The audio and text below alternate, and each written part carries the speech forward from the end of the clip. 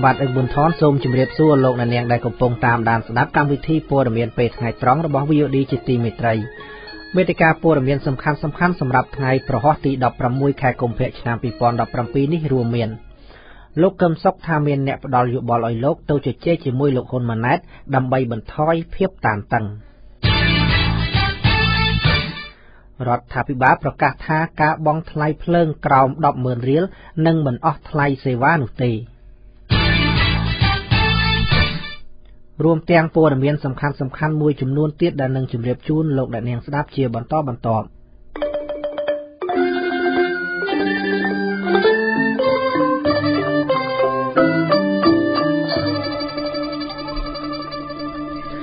លំដាប់តទៅនេះខ្ញុំបាទអឹងប៊ុនថនសូមជូនព័ត៌មានពិស្ដា មេធាវីការពារក្តីឲ្យលោកនាយករដ្ឋមន្ត្រីហ៊ុនសែនអះអាងថានៅថ្ងៃប្រហ័សនេះលោកនឹងដាក់ពាក្យបណ្ដឹងមួយករណីថែមទៀតប្តឹងលោកកឹមសុខជាអ្នកវិភាគនយោបាយដោយថាអ្នកវិភាគរូបនោះបានរិះគន់រដ្ឋាភិបាលអំពីការសម្លាប់អ្នកវិភាគនិងអ្នកធ្វើអត្ថាធិប្បាយជាបន្តបន្ទាប់ ប៉ុន្តែលោកកឹមសុខដែលបានរងបណ្ដឹងនោះបានអះអាងថាលោកត្រៀមតតាំងក្តីនេះនៅតុលាការដោយមិនរត់ទៅណានោះទេប៉ុន្តែទន្ទឹមគ្នានោះនៅថ្ងៃនេះលោកបានដាក់ពាក្យពន្យាពេលសុំចូលបំភ្លឺដោយសារតែពិបាករកមេធាវីការពារក្តីលោកញឹមសុខនរាយការណ៍បន្ថែម។ អ្នកខ្លាំមើលពីការអភិវឌ្ឍសង្គមនិងនយោបាយលោកកឹមសុខដែលរិះគន់រដ្ឋាភិបាលឥតសំចៃមាត់នោះបានដាក់ពាក្យសុំពន្យាពេលចូលបំភ្លឺនៅតុលាការដើម្បីតតាំងក្តីនឹងលោកហ៊ុនសែនដោយថាខ្លួនមិនទាន់រកមេធាវីការពារក្តីបានសាលាដំបងរាជធានីភ្នំពេញបានបង្គាប់ឲ្យលោកកឹមសុខចូលបំភ្លឺនៅថ្ងៃសុក្រស្អែកនេះលោកហ៊ុនសែនបានប្តឹងអ្នកវិភាគរូបនោះពីបទបរិហាគេជាសាធារណៈនិងញុះញង់ឲ្យមានភាពវឹកវរធ្ងន់ធ្ងរដល់សន្តិសុខសង្គមដែលប្រឈមនឹងជាប់ទោស2ឆ្នាំដោយទារជំងឺចិត្ត50ម៉ឺនដុល្លារបណ្ដឹងនោះធ្វើឡើងបន្ទាប់ពីលោកកឹមសុខថ្លែងថាករណីបាញ់សម្លាប់លោកកែមលីអាចជាប់ពាក់ព័ន្ធទៅនឹងបកកណ្ដាលអំណាចក្រោយដាក់ពាក្យសុំបញ្ជាពេលជួបបំភ្លឺលោកកឹមសុខថ្លែងនៅព្រឹកនេះថាសំណុំរឿងរបស់លោកគឺពិបាកពឹងពាក់មេធាវីដោយសារតែពីបណ្ដឹងរបស់លោកហ៊ុនសែនប្រឆាំងនឹងរូបលោកផង ហើយមួយវិញទៀតលោកក៏អត់មានលុយជួលមេធាវីនោះទេគឺមិនហ៊ានទទួលនឹងមែនហើយពិចារណាបារម្ភ អំពីរឿងដែលក្តីរបស់ខ្ញុំនឹងវាដូចជាចំពេកសម្ដេចនាយករដ្ឋមន្ត្រីគាត់បញ្ជាឲ្យប្តឹងតែម្ដងហើយគណៈបកប្រជាជនកម្ពុជាប្តឹងប្តឹងពលរដ្ឋសាមញ្ញធម្មតា ខ្ញុំអត់មានទួនាទីអីសោះបើតាមលោកកឹមសុខតឡាការនៅមិនទាន់ប្រកាសថានឹងយល់ព្រមពជាពេលចូលបំភ្លឺយ៉ាងណាដល់ឡើយទីលោកគីតិចមេធាវីការពីក្តីឲ្យលោកនាយរដ្ឋមន្ត្រីហ៊ុនសែនអះអាងថា នៅថ្ងៃប្រហ័សនេះលោកបានទទួលសិទ្ធិឲ្យប្តឹងលោកកឹមសុខមួយករណីទៀតតែលោកសុំមិនបញ្ជាក់ថាតើពីបណ្ដឹងនោះ ប្តឹងពីបរិវ័យនិងទៀមទាសំណងប៉ុន្មានពិតប្រកបទីដោយថារងចាំដាក់ពីបណ្ដឹងរួចរាល់ទៅតុលាការជាមុនសិនប៉ុន្តែបើតាមគេហទំព័រ Fresh News ដែលគេស្គាល់ថាស្និទ្ធនឹងរដ្ឋាភិបាលនោះបានចុះផ្សាយថាលោកគីតិចដែលតំណាងឲ្យលោកហ៊ុនសែននោះបានដាក់ពីបណ្ដឹងប្តឹងលោកកឹមសុខមួយករណីទៀតបន្ទាប់ពីលោកកឹមសុខបានចោទប្រកាន់មកលើរដ្ឋាភិបាលថារដ្ឋាភិបាលបច្ចុប្បន្នបានបង្កើតឲ្យមានប្រព័ន្ធមួយដែលមានការសម្លាប់មនុស្សហើយរកមុខឃាតករមិនឃើញលោកកឹមសុខឲ្យដឹងដែរថាបើទោះបីជាលោកហ៊ុនសែនបន្តប្តឹងលោកបន្ថែមទៀតក៏ដោយតែលោកថាលោកនៅតែអធិប្បាយឆ្លុះបញ្ចាំងពីការពិតដែលកើតមាននៅក្នុងសង្គមថាខ្ញុំមិនដូរជំហររឿងអធិប្បាយអំពីសង្គមនិងនយោបាយទេ ទី1ទី2មិនរត់ទៅណាទេគុំថាឡើយដាក់មួយថែមទៀតដាក់100ថែមទៀតក៏ខ្ញុំមិនរត់ទៅណាដែរជំជំរាបជំហរច្បាស់លាស់របស់ខ្ញុំអំពីរឿងនេះនាយនាំពាក្យសមាគមអាត6លោកសំច័ន្ទគីបានលើកឡើងថាចំណាត់ការជាបន្តបន្ទាប់ទៅលើមន្ត្រីសង្គមស៊ីវិលនិងអ្នកវិភាគកន្លងមកនេះលោកថាជាការប្រើប្រព័ន្ធច្បាប់គំរាមកំហែងដល់សម្លេងអ្នករិះគន់ខ្ញុំយល់ថាគឺជាយន្តការរបស់រដ្ឋាភិបាលក្នុងការបង្ខិតបំភ័យដល់ កម្មជនសិទ្ធិមនុស្សកុំឲ្យហ៊ានងើបតវ៉ាកុំឲ្យហ៊ានបញ្ចេញមតិរិះគន់អ្វីដែលរដ្ឋាភិបាលធ្វើខ្វះខាតទោះជាយ៉ាងណាកាលពីសប្តាហ៍មុនលោកហ៊ុនសែនថ្លែងជាសាធារណៈការពីថារដ្ឋាភិបាលមិនជាប់ពាក់ព័ន្ធទៅនឹងការបាញ់សម្លាប់លោកកែមលីនោះទីដោយលោកដាក់ជាសំណួរថាឃាតកម្មមួយកើតឡើងក្រោមការដឹកនាំរបស់លោកប្រជាប្រិយភាពវានឹងបានទៅលើនរណា ក៏ប៉ុន្តែមហាជននៅតែដាក់ការសង្ស័យថាបើរដ្ឋាភិបាលមិនជាប់ពាក់ព័ន្ធទៅនឹងការបាញ់សម្លាប់លោកកែមលីនោះហេតុអ្វីបានជាជាងកន្លះឆ្នាំមកនេះរដ្ឋាភិបាលមិនអាចវេចមុខអ្នកនៅពីក្រោយគិតកម្មនេះមកផ្ដន់ទាទោសបានក្រៅពីជនសង្ស័យម្នាក់ឈ្មោះជួបសម្លាប់ដែលសមត្ថកិច្ចចាប់បានក្រោយការហេតុនោះខ្ញុំញឹមសុខន VOD ភ្នំពេញ លោកនាងជាទីមេត្រីសំណុំរឿងលោកកឹមសុខដដានេះលោកកឹមសុខអះអាងថាមានអ្នកផ្ដល់យោបល់ឲ្យលោកទៅជជែកជាមួយលោកហ៊ុនម៉ាណែតកូនប្រុសច្បងរបស់លោកនាយករដ្ឋមន្ត្រីហ៊ុនសែននោះទៅថាអាចបន្ធូរបន្ថយស្ថានភាពតានតឹងនៅពេលនេះបាននេះជាការលើកឡើងរបស់លោកកឹមសុខបន្ទាប់ពីលោកបានដាក់ពាក្យសុំពន្យាពេលចូលបំភ្លឺនៅតុលាការនៅព្រឹកនេះកន្លងមក មានអ្នកទូរស័ព្ទមកខ្ញុំនឹងថាឥឡូវយើងគួរជជែកគ្នាគេប្រើពាក្យថាជជែកជាមួយអាយដាមហ៊ុនម៉ាណែតដើម្បីបន្ធូរបន្ថយភាពតានតឹងហើយខ្ញុំអត់មានទំនាស់អីជាមួយអាយដាមហ៊ុនម៉ាណែតជាបុគ្គលអីទេហើយទៅទៅជជែកជាមួយគាត់បើតាមលោកកឹមសុខលោកអាចនឹងជជែកនៅក្នុងនាមជា លោកជាមួយនឹងតំណាងគណៈបកប្រជាជនកម្ពុជាណាម្នាក់ប៉ុន្តែធ្វើឡើងដោយសាធារណៈនៅតាមកញ្ចក់ទូរទស្សន៍ដែលលោកលើកឡើងថាអាចធ្វើឡើងនៅតាមទូរទស្សន៍ជាតិទូរទស្សន៍កឬក៏ទូរទស្សន៍បាយ័នរបស់កូនស្រីលោកនាយករដ្ឋមន្ត្រីហ៊ុនសែនលោកអ្នកនាងជាទីមេត្រី សមត្ថកិច្ចបានចាប់ខ្លួនជនជាតិអង់គ្លេសករណីឆ្លងដែនចូលមកប្រទេសកម្ពុជា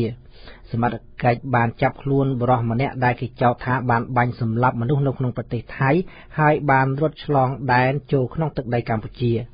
តាមគេហទំព័រអគ្គស្នងការនគរបាលជាតិបានឲ្យដឹងថាកាលពីថ្ងៃទី15ខែកុម្ភៈម្សិលមិញនេះសមត្ថកិច្ចបានចាប់ខ្លួនជនជាតិអង់គ្លេសម្នាក់បញ្ជូនទៅកាន់សាលាដំបងរាជធានីភ្នំពេញដើម្បីសាកសួរតាមនីតិវិធីច្បាប់ លោកលីសុផាណាអ្នកនាំពាក្យសាលាដំបងរាជធានីភ្នំពេញបានឲ្យដឹងថាព្រះរាជអាជ្ញាលោកសៀងសុកគឺជាអ្នកចាត់ការលើសំណុំរឿងនេះលោកបញ្ជាក់ថាជនសង្ស័យឈ្មោះញ៉ែលហាំបូប៊ីជាជនជាតិអង់គ្លេសអាយុ45ឆ្នាំរដ្ឋាភិបាលកម្ពុជាបានប្រកាសថារាល់ការទូទាត់ថ្លៃសេវាអគ្គិសនីតាមភ្នាក់ងារវិញតម្លៃក្រោម100000រៀលនឹងមិនត្រូវបានគិតថ្លៃសេវាពីប្រដ្ឋនោះទេ ដោយថានេះជាជាយន្តការមួយដើម្បីកាត់បន្ថយការចំណាយដល់ប្រជាពលរដ្ឋខ្ទង់លានគ្រួសារកាលពីម្សិលមិញលោកនាយករដ្ឋមន្ត្រីហ៊ុនសែនបានថ្លែងថាពលរដ្ឋរាប់រយគ្រួសារដែលប្រើប្រាស់អគ្គិសនីតម្លៃក្រោម100000រៀលនឹងអាចទូទាត់សេវានេះតាមរយៈភ្នាក់ងារវិញរបស់លោកអុកញ៉ាគិតម៉េងដោយមិនត្រូវបង់កម្រៃសេវានោះទេលោកនាយករដ្ឋមន្ត្រីហ៊ុនសែនបានសួរទៅកាន់អ្នកអុកញ៉ាគិតម៉េងថាថ្លៃទូទាត់អគ្គិសនីនេះ បានអនុវត្តហើយនៅប៉ុន្តែនៅព្រឹកនេះបុគ្គលិករបស់ក្រុមហ៊ុនវិញបានប្រាប់ VD ថា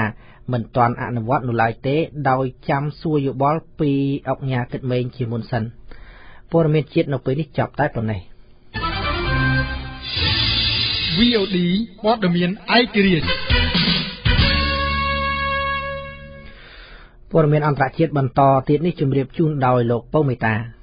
ព័ត៌មានអន្តរជាតិពីប្រទេសឥណ្ឌូនេស៊ីមានការរញ្ជួយដីនៅព្រឹកនេះរញ្ជួយដីបានកើតឡើងពីរដងនៅព្រឹកថ្ងៃប្រហោះនេះនៅខេត្តអាសេ ជាខេត្តនៅភាគពីរយប់នៃប្រទេសឥណ្ឌូនេស៊ីគឺញ័រដោយការកើតឡើងកាលពីខែធ្នូកន្លងទៅក្រុមអ្នកភូមិសាស្ត្រអាមេរិកបានឲ្យដឹងថា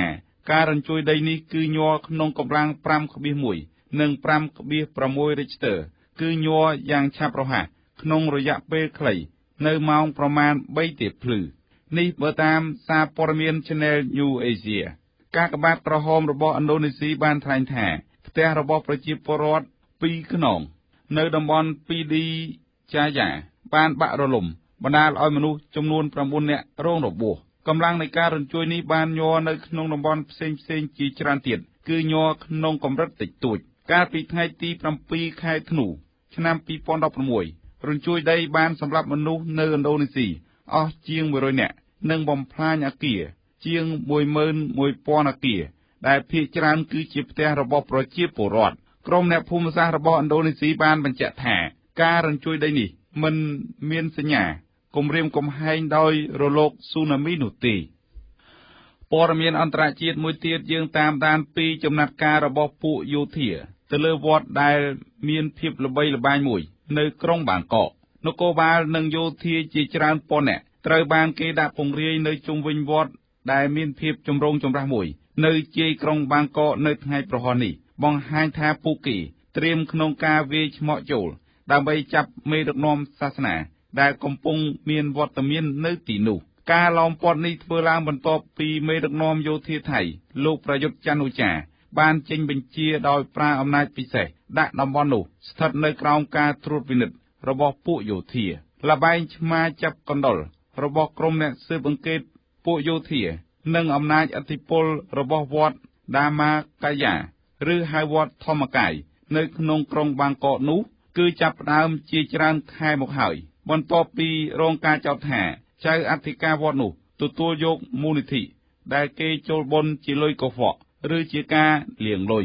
ទោះយ៉ាងណាអាញាធរហាក់នៅមានការស្ទាក់ស្ទើរក្នុងការវាយលុកទៅលើវត្តដែលមានសម្ភារៈទំនើបទំនើបមានពុទ្ធបរិស័ទច្រើន ទាំងថៃ និងប្រទេសផ្សេងផ្សេងចូលទៅគោរពប្រតិបត្តិវត្តនេះមានទំហំជាង400ហិកតា មានផ្លូវជាច្រើន នៅក្នុងនោះផ្លូវមួយចំនួននៅជុំវិញវត្តនោះត្រូវបានបិទមិនឲ្យមានអ្នកធ្វើដំណើរចេញនិងចូលបានទេ ហើយសមត្ថកិច្ច ត្រៀមចូលទៅចាប់អធិការនៃវត្តនោះ ដែលមានព្រះជន្ម70ព្រះវិសា គឺព្រះតេជគុណដាម៉ាកាយូនេះបើតាមទីភ្នាក់ងារសារព័ត៌មាន AFP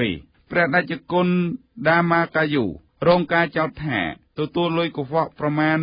1.2000លានបាតស្មើនឹងប្រមាណ33លានដុល្លារអាមេរិកពីម្ចាស់ភាគហ៊ុននៃធនាគារមួយ ដែលបច្ចុប្បន្នកំពុងជាប់ពន្ធនាគារ នៅព្រឹកថ្ងៃប្រហ័ននេះទីហ៊ាននិងនគរបាលរាប់រយនាក់បានព្យាយាមចូលបិទផ្លូវសំខាន់សំខាន់នៅក្នុងវត្ត គឺធ្វើឡើងភ្លាមភ្លាមតាមបញ្ជាពីនាយករដ្ឋមន្ត្រីប្រយុទ្ធច័ន្ទអូចាបើតាមសារអ៊ីមែលដែលអ្នកនៅក្នុងវត្តផ្ញើប្រាប់ទីភ្នាក់ងារសារព័ត៌មាន AFP បានឲ្យដឹងថានគរបាលនិងយោធានៅទីនោះ មានប្រមាណ4000នាក់បានបិទមិនឲ្យមានការផ្ដល់ជំនួយ និងមិនឲ្យមានអ្នកចេញចូលនៅក្នុងវត្តនោះបានទេ ចំណែកព័ត៌មានអន្តរជាតិចុងក្រោយគឺអាញាធរម៉ាឡេស៊ីបានឃាត់ខ្លួនស្ត្រីទី2ដែលជាប់ពាក់ព័ន្ធករណីឃាតកម្មលើលោកគីមជុងណានជាបងប្រុសបង្កើតរបស់មេដឹកនាំកូរ៉េខាងជើងនេះបើតាមទីភ្នាក់ងារសារព័ត៌មានរដ្ឋម៉ាឡេស៊ីបឺណាម៉ាដែលបានចុះផ្សាយនៅថ្ងៃប្រហោះនេះដោយបានដកស្រង់សម្ដីពីមន្ត្រីនគរបាលអធិការនគរបាលលោកកាលីតអាប៊ូបាកា បានថ្លែងប្រាប់បឺណាម៉ាថាការឃាត់ខ្លួនជនសង្ស័យនោះ គឺធ្វើឡើងកាលពីយប់ថ្ងៃពុធម្សិលមិញនគរបាលម៉ាឡេស៊ីបានឲ្យដឹងទៀតថាកាលពីថ្ងៃពុធពួកគេបានឃាត់ខ្លួនស្ត្រីកាន់លិខិតឆ្លងដែនជាលិខិតឆ្លងដែនរបស់វៀតណាមហើយថាពេលនេះពួកគេកំពុងតែស្វែងរកមនុស្ស2ទៅ3នាក់ទៀតដែលជាប់ពាក់ព័ន្ធទៅនឹងករណីឃាតកម្មសម្រាប់បងប្រុសលោកគីមចុងអ៊ុន ស្ត្រីដែលកាន់លិខិតឆ្លងដែនអាយុ28ឆ្នាំរូបនោះត្រូវបានបញ្ជូនទៅកាន់តុលាការដើម្បីសាកសួរជុំវិញករណីឃាតកម្មលោកគីមចុងណាននៅថ្ងៃប្រហ័សនេះនគរបាលបានបញ្ជាក់ថាពួកគេបានតាមដានពេញមួយយប់ទើបឃាត់ខ្លួនស្ត្រីរូបនេះលោកអ្នកអាចស្ដាប់ឬអានព័ត៌មាន VOD ឡើងវិញតាមរយៈគេហទំព័រ www.vodhotnews.com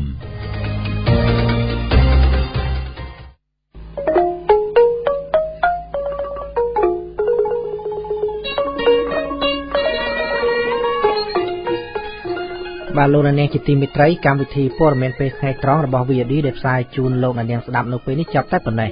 សូមលោកនាងរងចាំស្ដាប់ព័ត៌មានខ្លីរៀងរាល់ម៉ោងនិងព័ត៌មានពិស្ដារនៅម៉ោង6ល្ងាចនេះជាបន្តទៀតខណៈពេលនេះខ្ញុំបាទអឹកប៊ុនថននិងអ្នកបញ្ជាម៉ាស៊ីនផ្សាយរួមទាំងសហការីសូមអរគុណនិងសូមជម្រាបលា